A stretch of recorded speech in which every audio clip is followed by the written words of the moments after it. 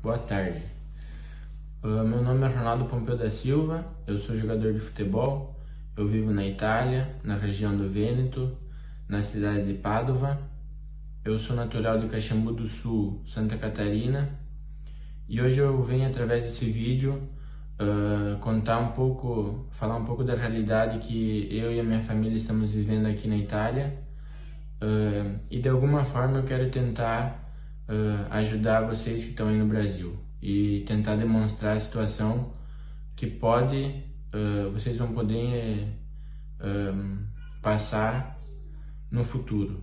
Espero de coração que peço a Deus todos os dias para que vocês não cheguem na nossa situação. Então, assim, uh, hoje é dia 20 de março, ontem os números cresceram muito, Uh, foram 4.500 novos contagiados, um, mais de 400 mortes. Então, assim, a situação aqui está crítica, crítica mesmo. Uh, provavelmente o governo demorou para tomar essas iniciativas de obrigar as pessoas a ficarem em casa. Então, uh, o que eu quero pedir para vocês é que, assim, fiquem em casa a única coisa, o único modo para fazer com que esse vírus se espalhe lentamente é as pessoas ficando em casa. Eu já fazem 10 dias que eu e minha família estamos em casa, estamos em casa. Uh, quando eu vou no mercado comprar alimentos, eu uso a máscara, uso luva, levo comigo sempre o álcool em gel, tenho o máximo de cuidado possível. Um, para não, não contrair o vírus. Então, assim, uh, o que eu quero falar para vocês, tudo que estão falando aí na mídia é verdade, é, é extremamente verdade. Aqui estão morrendo muitas pessoas, a maioria idosos, uh, mas quero que vocês entendam que todo, qualquer pessoa pode pegar o vírus, qualquer pessoa. Ontem uh, deram os números confirmados que 300 crianças aqui na Itália estão com vírus, que fizeram o teste e comprovaram. Então, criança também pega. É um vírus forte.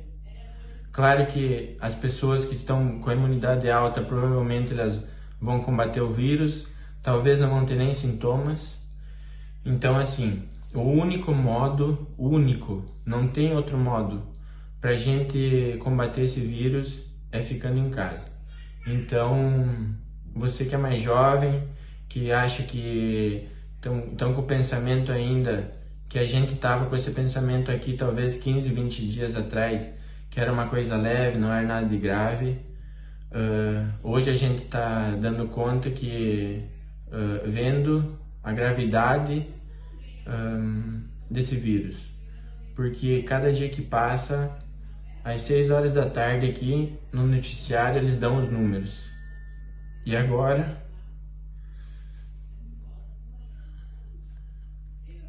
a única coisa que a gente espera é que esses números comecem a baixar, porque se continuar assim, a gente não sabe onde que vai parar. Então, eu peço a Deus todos os dias para que ele ilumine o Brasil, porque está acontecendo isso na Itália. Nessa situação, comparando ao Brasil, que é um país, que a Itália é um país preparado, comparando ao Brasil, uh, eu não sei o que vai acontecer com o Brasil. Então, assim, uh, pensem nos avós de vocês, nas pessoas mais velhas que vocês amam, porque talvez você uh, não vai sofrer com esse vírus, mas alguém na tua família pode sofrer. E provavelmente, uh, se alguém na tua família, algum idoso, alguma pessoa uh, frágil contrair o vírus, provavelmente ela não vai conseguir superar, porque o Brasil não vai dar conta. Os hospitais no Brasil não vão dar conta de, um, de curar todas as pessoas. Então eu faço um pedido para que vocês fiquem em casa, não saiam de casa. É o único modo para fazer, para fazer com que esse vírus não, não se espalhe rapidamente. Então é isso aí e que Deus abençoe todo mundo. Uh, desejo mesmo de coração. Espero que vocês não precisem passar o que a gente está passando aqui, porque é horrível, parece um filme de terror. A situação está muito crítica, muito crítica mesmo, tá bom? Então essa é a minha mensagem. Espero que vocês entendam, reflitam e comece fazendo a tua parte. Se, se cada pessoa começar a fazer a sua parte, a gente vai conseguir bater, combater esse vírus, tá bom? Um abraço e que Deus ilumine todos.